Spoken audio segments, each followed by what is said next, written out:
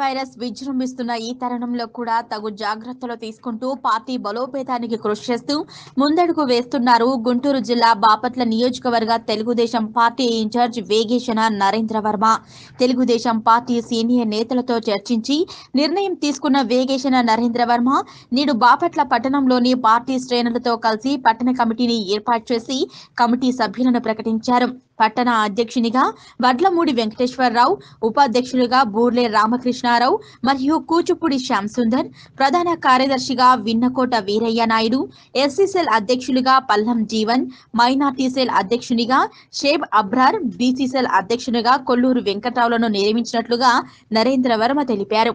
Telugu Desam party ఓ సామాజిక వర్గానికే పరిమితమైందిగా కులముద్ర వేసుకొని ఉంది. కానీ నేడు తెలుగుదేశం పార్టీ ఇన్ఛార్జ్ వేగేశన నరేంద్ర వర్మ అందుకు భిన్నంగా తెలుగుదేశం పార్టీ ఒక సామాజిక వర్గానికి చెందినది కాదని అన్ని సామాజిక వర్గాలకు చెందిన పార్టీ అని నిరూపించేందుకు అన్ని సామాజిక వర్గాల వారికి ప్రాధాన్యతను ఇచ్చి ఎంతో చాకచక్యంగా కమిటీని ఏర్పాటు చేశారు. అయితే కొందరు పదవీకాంక్షతో ఉన్న ఆశావాదులు మాత్రం అతని ఆంతర్యాన్ని తెలుసుకోలేక పదవులకే ప్రాధాన్యత ఇస్తూ తెలుగుదేశం పార్టీకి గుడ్ బై చెప్పేశారని.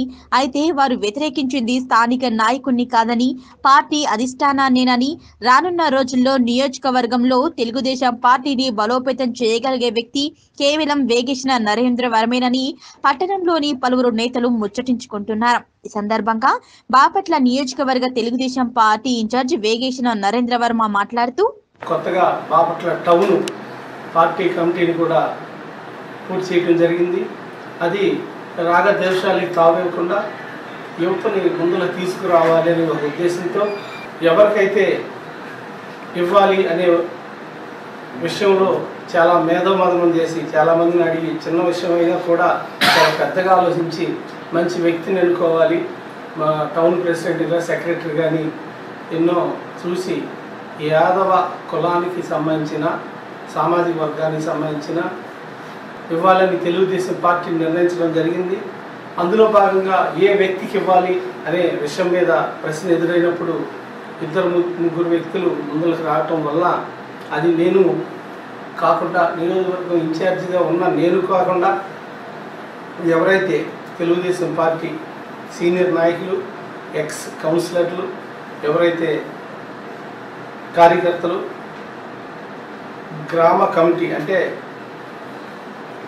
వార్డు కమిటీలో ఉన్న ట్రెజరర్ వైస్ ప్రెసిడెంట్ ప్రెసిడెంట్లు అందరినీ కూడా ఫోన్ కాల్ ద్వారా ప్రతి ఫోన్ కాల్ రికార్డ్ చేసి మరి సమాచారాన్ని సేకరించి ఏ వ్యక్తి అయితే బాగుంటుంది అన్న దాని మీద సమాచారం సేకరించటం.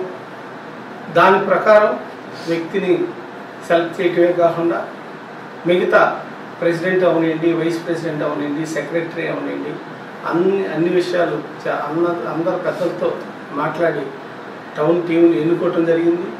ఈ సందర్భంగా కొత్తగా ఎన్నుకున్న టౌన్ తెలుగుదేశం పార్టీకి సంబంధించిన మండల స్థాయి టౌన్ పార్- పార్టీ ప్రెసిడెంట్తో సహా సెక్రటరీ జాయింట్ సెక్రటరీ అండ్ ఇద్దరు వైస్ ప్రెసిడెంట్లు ట్రెజరర్ అందరినీ ఎన్నుకున్నాం. ఈ సందర్భంగా తెలుగుదేశం పార్టీ తరఫున తోట నారాయణ గారు అలాగే జిల్లా కార్యదర్శిగా కూడా ఆయన ఉన్నారు.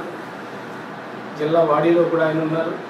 ఆయన తెలుగుదేశం పెద్దగా టౌన్ గారికి మనం వ్యవహరించుకోవడం జరుగుతున్నది ఆయన సలహా అట్లాగే ఎక్స్ఎమ్మెల్యే అనంతవర్మ గారి సలహా అలాగే సీనియర్ నాయకులు జేపీ గారి సలహాలు కూడా తీసుకుని ఈ నిర్ణయం తీసుకున్నాం. ఇందులో పదవి కొంతమందికి రావచ్చు కొంతమందికి రాకపోవచ్చు.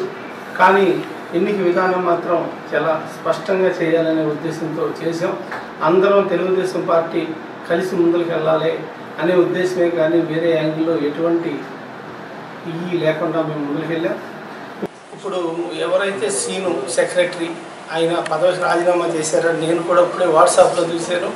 ఆయనకి మాట్లాడదామని నేను ఫోన్ చేస్తే ఫోన్ స్విచ్ ఆఫ్ అని వచ్చింది. ఆ సందర్భంగా వీళ్ళందరూ ఉన్నారు ఇప్పుడే ఫోన్ చేసిన విషయం మాట్లాడదామని. ఎందుకంటే తెలిసి తెలవక ఆవేశంతో మనం అవాస్పాలు అవ్వకూడదు మన పార్టీ అంటే నా ఎన్టీ రామారావు హృదయంలో నుంచి ఉద్భవించిన పార్టీ. ఆ పార్టీలో మనం సైనికులాగా ఎన్నాళ్ళు పనిచేస్తాం. అందరితో మాట్లాడి కలుపుకుని వెళ్తామే తప్పించి అందులో ఎటువంటి సందేహం లేదని మరొకసారి మీకు తెలియజేస్తున్నాం. Thank you.